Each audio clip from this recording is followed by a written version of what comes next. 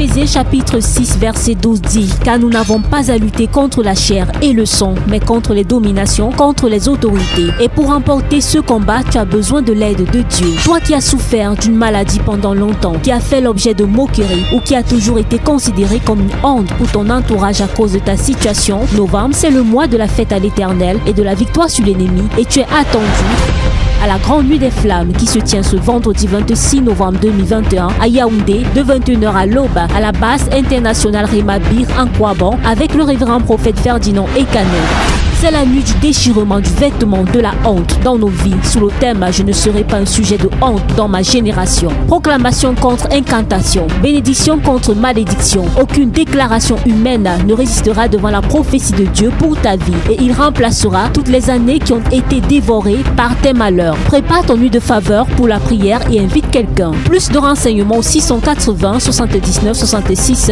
03. Ne manque pas.